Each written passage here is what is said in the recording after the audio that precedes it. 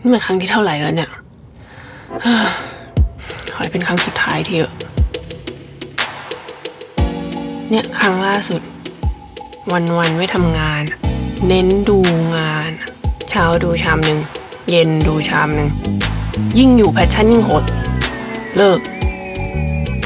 ส่วนเนี่ย แกดูเหมือนจะใจดีนะ ตอนที่นั่นระบบบอนไซแล้วพอบอกจะขอไปเรียนต่อ ไม่ตายแต่ก็ไม่โตแล้วกะว่าจะหนีร้อนไปพึ่งเย็น แต่ที่นี่ก็เย็นจนฟรีซเลย ตำแหน่งเงินเดือนเอาติ้งสวัสดิการ ไม่มีฟรีซหมด เนี่ยทำงานแบบฮอร์โมนหมด ห้ามโต้แย้ง ชมได้อย่างเดียว แบบนกแก้วนกขุนทอง เอาละ ในเมื่อทั้งสองคนมาพบกันพร้อมหน้าพร้อมตา มีอะไรจะถามก็เชิญเลยนะ คือจริง ๆ แล้ว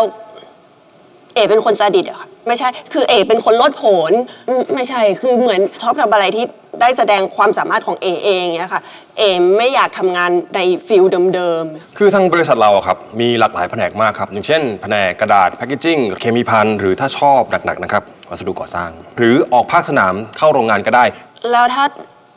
มีมหาลัยดี ๆ มาติดต่อ เอไปเรียนแล้วค่อยกลับมาทำงานได้ไหมอะคะ ทางบริษัทเราอะส่งพนักงานของเราไปเรียนต่อที่ฮาร์วาร์ดแล้วก็ออกซฟอร์ดด้วยครับ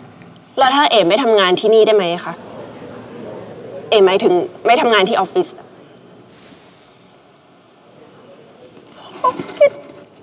ในบางกรณีนะครับ เราอนุญาตให้พนักงานของเราทำงานที่ไหนก็ได้ครับ ถูกใจไหมจ๊ะ ใช่ค่ะเลือกมาทำงานกับบริษัทที่ใช่กับชีวิตคุณ Yes, I